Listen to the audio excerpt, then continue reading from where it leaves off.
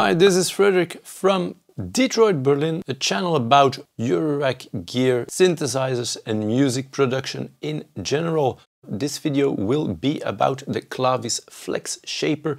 It's kind of a wave shaper, but it's extremely flexible, precise, and you can have total control over the parameters.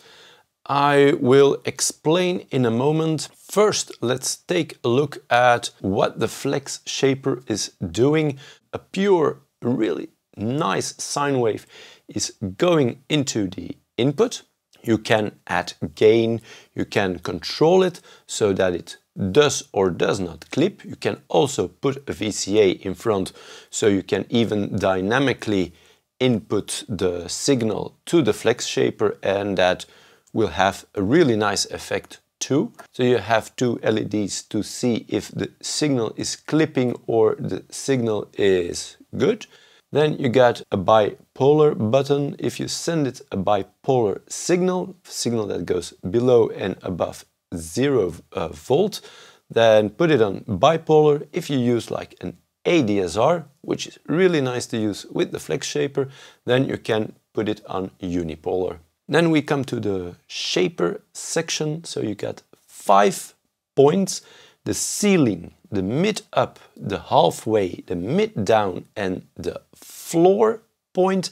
And what this does, if you have a waveform and you have the lowest point of the waveform and the highest point and all the points in between, it actually, it takes those points, those voltage levels and those voltage levels you can, whether manually with these knobs, tweak and shape the signal this way, or you can input a control voltage, whether it be an LFO or any other kind of control voltage, even audio rate, you can input it and you can dynamically control the position of that level. So it kind of maps the waveform and then you can move those points. You get five points, like I mentioned. And then you got a unipolar and a bipolar output, which is also really useful. Let's have a look at how the patch is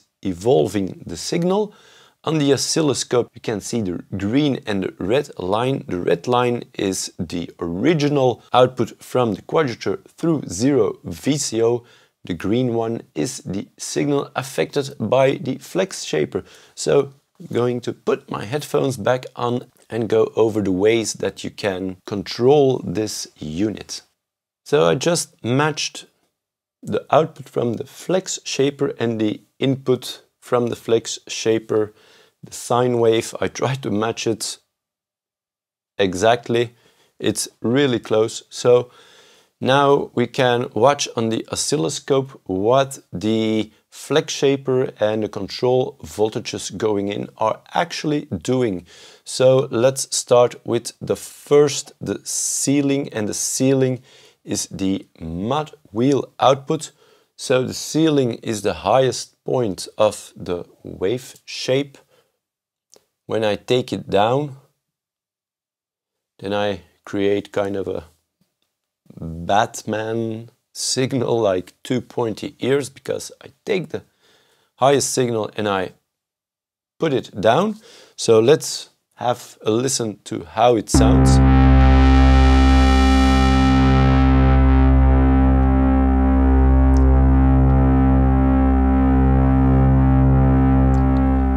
So that's that. Now let's modulate it with the mod wheel because the mod wheel is going to that first CV input, the ceiling section of the flex shaper.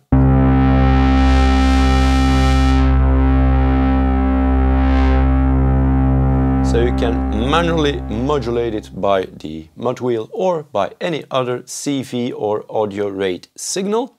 Put it back in the original position and the original position is showed by those dots. So if you match the dots, that's the original position. You can offset it and then use the modulation wheel or any other kind of CV source to control it or to put it back in the original position with using the CV voltage.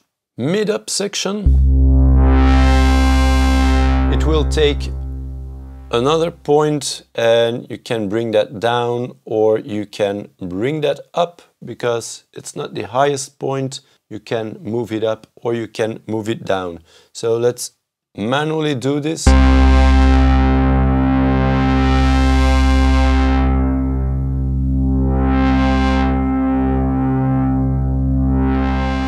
So with the mid up I'm using the output from the mix switch I'm using the mix switch in sequencer mode, so every time I tap a key, it will progress and add a voltage. I'm using that to control the mid-up section. So manually put it all the way down. Now let's see.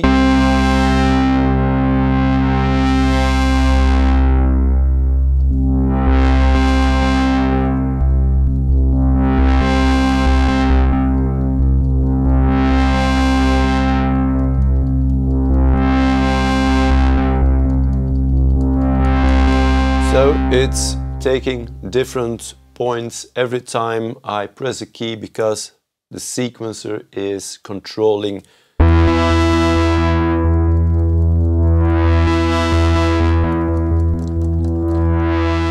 That mid-up section halfway I'm controlling with the standard VCO from Doepfer, also pitch tracked with the Moog Matriarch, so when I go up, then it follows the pitch.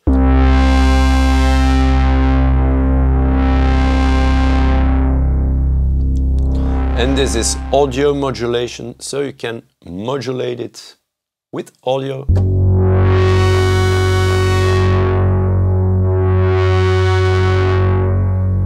And it really enriches the sine wave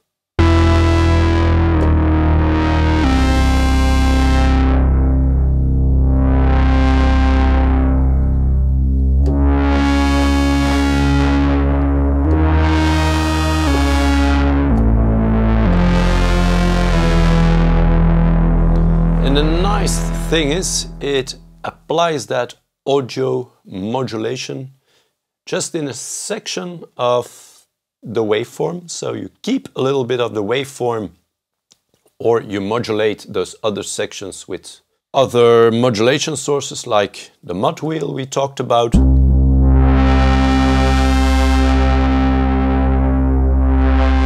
So you audio modulate only that little section. You can also use multiple oscillators in different uh, tunings to modulate the whole wave shape. You can also do that. It is extremely versatile, this flex shaper, and I really like to be in control of my parameters and be precise.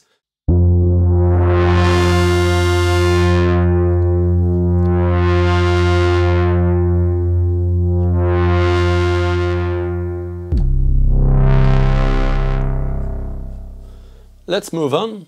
We got the mid down and the mid down is of course the lower half between the mid and the floor. So the mid down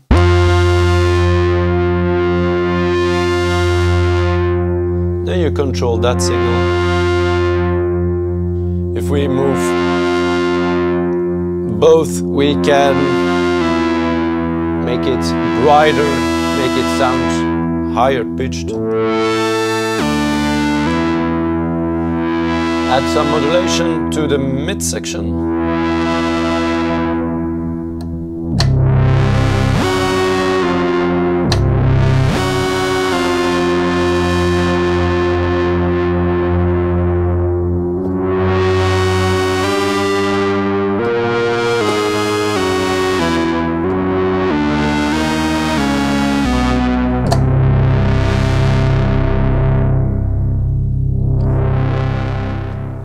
Think it sounds amazing. So let's put it back. And then, yeah, you got the floor section, it's the bottom.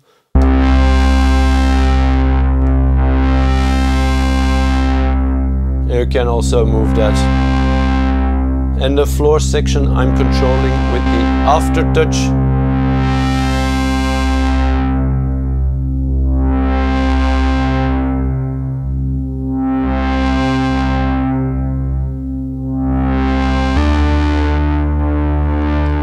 The mid down I was controlling with the build up and drop, so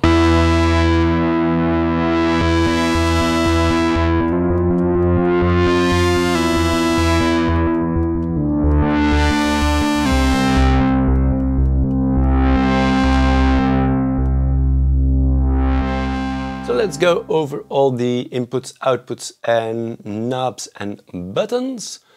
Starting at the top, you've got the input signal, which you can input DC signals, audio rate signals. It's really versatile. Then you got two LEDs. The top LED lights up red when the signal is clipping. With clipping you can shape the signal also, so that's really nice. The lower LED is the LED that lights up green when the signal is in an optimal uh, volume, which of course you can go lower and higher depending on what you want to achieve with the sound. Here you got the gain knob and the gain knob is to adjust the level of the input so you can add some gain, you can drive the signal, you can add some distortion, some clipping and yeah that way you can also shape the signal. Then you got a button that switches unipolar, bipolar input so that the module knows what you're sending into the module. Of course, with VCOs or LFOs, you can use it in bipolar mode. Do you use an ADSR or an LFO that is offset, then you could use the unipolar input. You got the inputs of the five mapping points to CV control them and then you got the knobs to manually offset that mapping point. Then you got these dots that depict the original position. So you know where to put the knobs if you want to make it kind of in the default setting. So the incoming signal will be kind of the same as the outgoing signal. And from there on, you can offset it or just modulate it by voltages. And then at the bottom you got the unipolar and the bipolar output. Really useful to have it output bipolar or a unipolar signal. So that's about it. Now let's have a look at another patch. So this patch is really simple sound-wise, but more complex modulation-wise. I have a steady pitch on the Moog Matriarch. I'm using the build up and drop to trigger an ADSR. The ADSR is going through the flex shaper, but the flex shaper is also modulated by various sources. One of it being an oscillator to add some audio rate modulation. Then I also have two other ADSRs, one modulating the mid-up section, one modulating the mid-down section, and one is inverted and the other one is normal. Let's have a listen at how this will sound. Now I'm just using the ADSR and I'm not going through the flex shaper so you can hear how it sounds normally.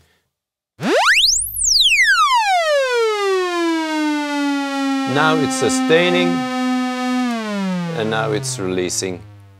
So again.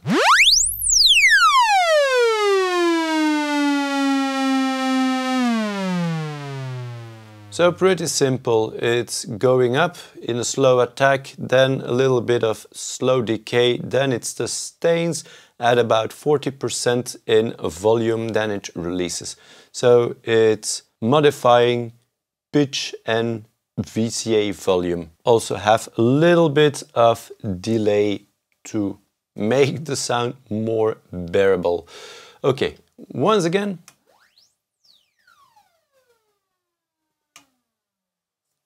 really simple sound. Now let's bring the Flex Shaper to the party with the Flex Shaper modulating the ADSR signal. This is the result.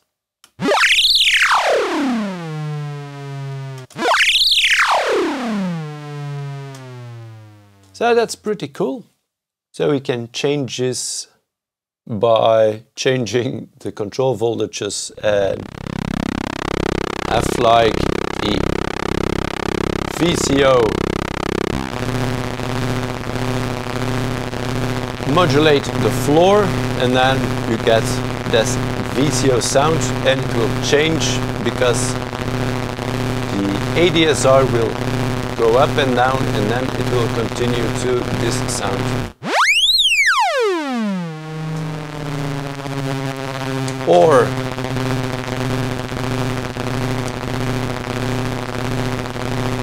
you can also modulate halfway and then it will go through that voltage controlled oscillator modulation again.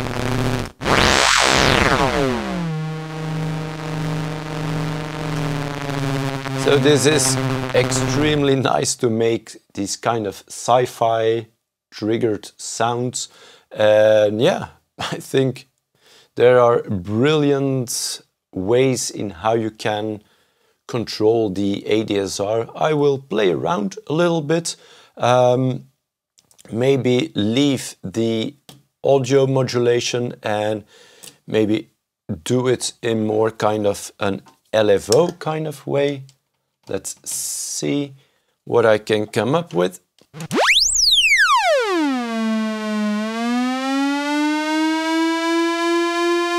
It goes up again because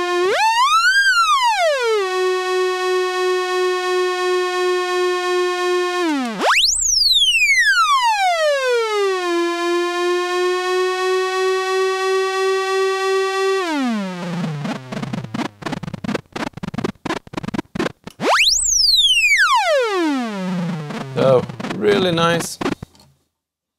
Let's have